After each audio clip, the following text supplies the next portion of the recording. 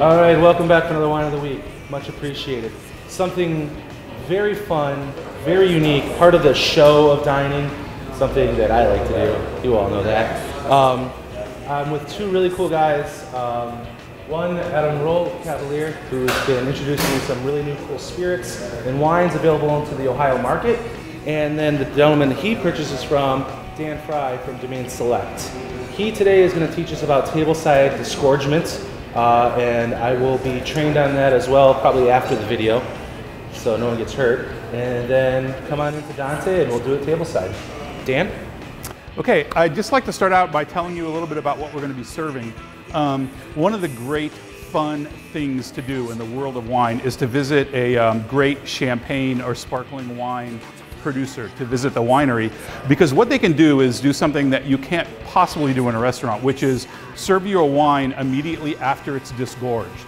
So a sparkling wine or a great champagne um, is disgorged, uh, giving you kind of a naked, very raw, clean version of the wine. Uh, subsequently, it goes through a lot. It has some things added to it, and it goes through some things that complicate it a little bit. And we've always found it very interesting and exciting to try it without those complications, to try essentially a raw, naked version of the wine. The problem is you have to actually be at the winery. But one of the craziest winemakers in the world, Until now. uh, yeah, until now. One of the craziest winemakers in the world, Alice Kristančič, is a great um maker of sparkling wines. He is in a region we call Collio, right on the border between Italy and Slovenia, and it's there that he works his sort of uh, wild chemistry set magic on a lot of uh, traditional, naturally made wines. And he makes a wine called Puro. Here it is here. Um, a great classic sparkling wine made with uh, Pinot Nero, essentially the Pinot Noir grape.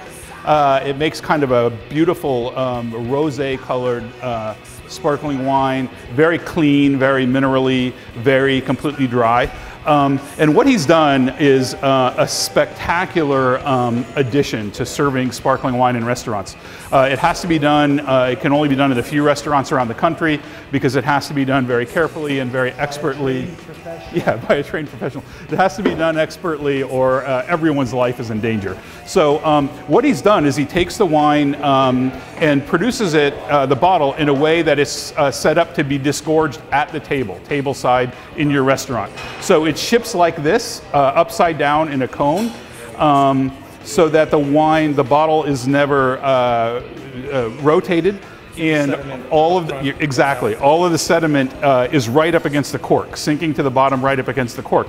And what you're going to do table side, or what we're going to do table side, is uh, disgorge the bottle and then uh, be able to serve it immediately after it's disgorged. I want to point out, you'll see on a lot of champagnes um, at twice the price of their normal bottlings, uh, something called recently disgorged. You'll see RD like on the Bollinger. You'll see um, wines, and, and they're always a lot of extra money. So this is kind of a, a, a way to try wines um, that would normally be very expensive, rare, reserve bottlings, and those are only recently disgorged. This is really, really recently is disgorged.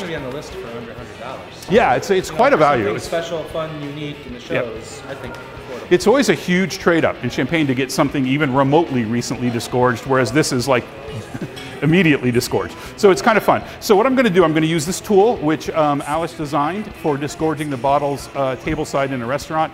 We've got a um, uh, uh, some water here. It has to be done underwater.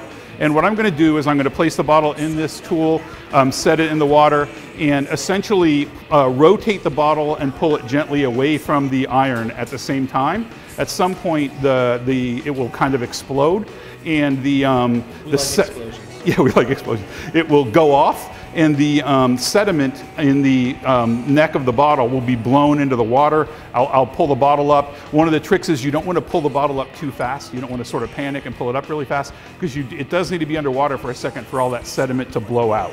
So this is how we disgorge it, and we're able to serve it at the table side.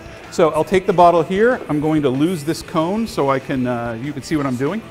Um, basically, I'm, I'm inserting the bottle. Uh, it's got two sort of guides, so you can insert it correctly in the, uh, he calls this the iron. There you go. Um, I'll take it, turn it upside down into the water, uh, and I'm going to rotate the bottle and pull it slowly away from the iron. And when it goes off, I'll just, I'll pull it right up out of the water.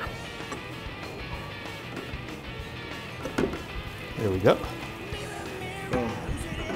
You get a nice little um, explosion, and you can see um, if you've opened the bottle correctly, all of the sediment is now in the water. You kind of saw it blow out of the neck of the bottle, um, and that will give you a nice, pure, uh, clean uh, glass of sparkling wine. Adam and I are ready to do our job. Yeah, that's right. Okay? It's been hard work. I know. Someone's got to So- do it, Adam. Sorry. That's why, that's why they called us. So this will give you a nice, uh, uh, clean, uh, clear glass of Movia Puro. And um, the winemaker is Alice Kristančič. The grape is Pinot Nero. And the wine is uh, Movia Puro. Cheers. Hope you enjoy. Cheers, gentlemen.